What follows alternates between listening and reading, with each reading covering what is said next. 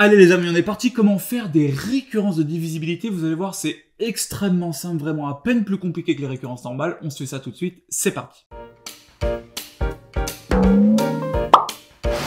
Alors, si je veux démontrer formellement par récurrence que 12 divise 13 puissance n plus 11, waouh, il va falloir commencer par définir notre propriété qu'on veut démontrer. Donc on commence par écrire Pn, c'est que 12 divise 13 puissance n plus 11. Et moi, je vais même l'écrire différemment. Je vais l'écrire de manière directement exploitable, ce qui veut dire qu'il existe un cas appartenant aux entiers relatifs, tel que 13 puissance n plus 11 égale 12 fois k. Autrement dit, si 12 divise 13 puissance n plus 11, c'est-à-dire que 13 puissance n plus 11, je peux l'écrire 12 fois quelque chose avec ce quelque chose qui est un entier relatif. Trois étapes, initialisation, hérédité, conclusion. Donc, initialisation. Vérifions. Qu'est-ce que c'est que ce F? Vérifions que la première propriété, est vraie. D'accord? Je commence à 0, j'aurais pu commencer à 1, vu que l'énoncé ne me donne pas de précision là-dessus, moi je commence à 0.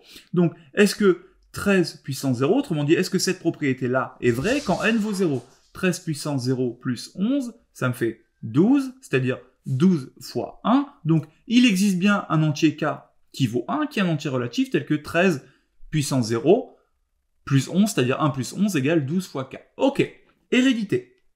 La phrase de l'hérédité, c'est supposons qu'il existe un n appartenant à grand N tel que Pn soit vrai, montrons que Pn plus 1 est vrai aussi. Alors, tout est dans la phrase. Si on suppose qu'il existe un entier tel que Pn soit vrai, c'est que mon point de départ, ça va être Pn.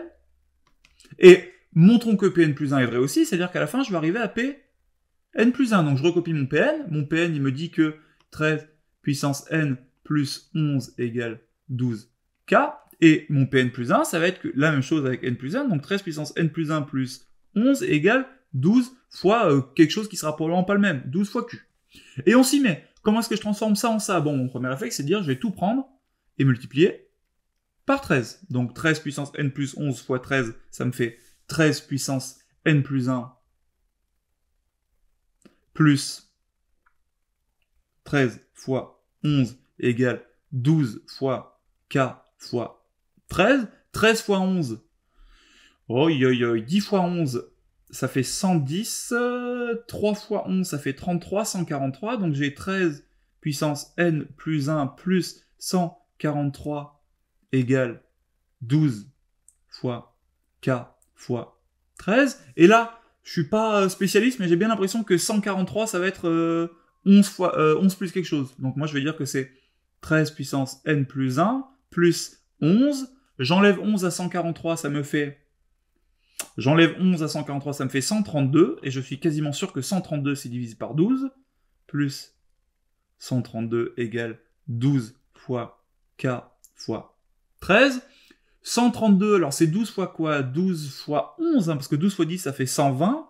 Donc regardez comme c'est joli. Ce 132, je vais le passer de l'autre côté. Donc je l'efface d'ici.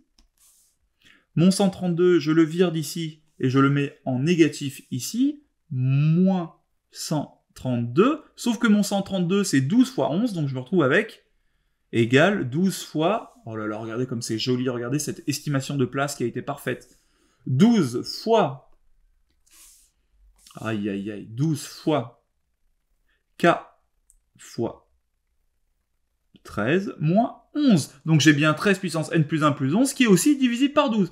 Conclusion, pour tout entier naturel n, vu que la propriété est initialisée et héréditaire, 12 puissance, 13 euh, puissance n plus 11 égale à 12 puissance k, et donc vrai, donc 13 puissance n plus 1 plus 11 est divisible par 12. On vous a mis des petites récurrences en dessous, à vous de jouer, vous êtes vraiment des champions.